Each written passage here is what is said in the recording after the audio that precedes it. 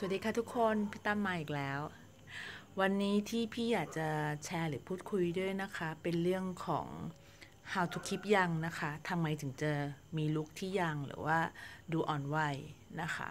อันดับที่หนึ่งก็คือเรื่องของอายุเนี่ยมันเป็นเรื่องพลังงานขับเคลื่อนอย่างหนึ่งของชีวิตคนเรานะคะ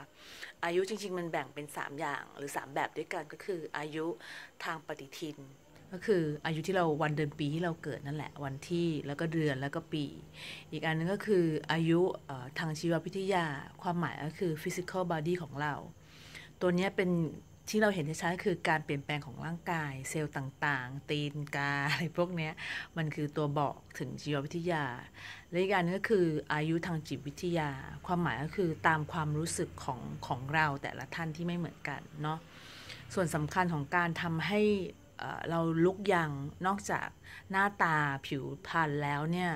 แล้วก็มันเป็นเรื่องของจิตใจด้วยส่วนหนึ่งนะคะ ที่เราต้องทำนั้นพี่ที่พี่เน้นเรื่องสมาธินี่มันก็เป็น part หนึ่งของการทำให้ look young นะคะ keep young ด้วย นอกเหนือจากนี้ก็จะมีเรื่องของอาหารนะคะแล้วก็เรื่องของการออกกำลังกาย ซึ่งหลาย ๆ ท่านก็ทำกันอยู่แล้ว แต่ว่านอกเหนือไปกว่านี้ มันมีเทคนิคค่ะ ซึ่งมันเป็นความมันไม่ใช่ความลับหรอกแต่มันเป็นสิ่งที่คนสมัยโบราณเนี่ย ถ้าเราอ่านย้อนประวัติไปดู พวกเคลียพัตตาถึงขนาดนั้นเลยนะคะ แล้วก็ถึงพวกทูสีไทเฮาพวกห้องพวกอะไรที่เป็นสิ่งที่เป็นบริษัทในของเกี่ยวกับผู้หญิงเนี่ยแม้แต่คนญี่ปุ่นเกชาเนี่ยก็มีเรื่องของความลับการทำให้ลุกยังหรือว่าดูสวยงามได้ตลอดนะคะ ซึ่ง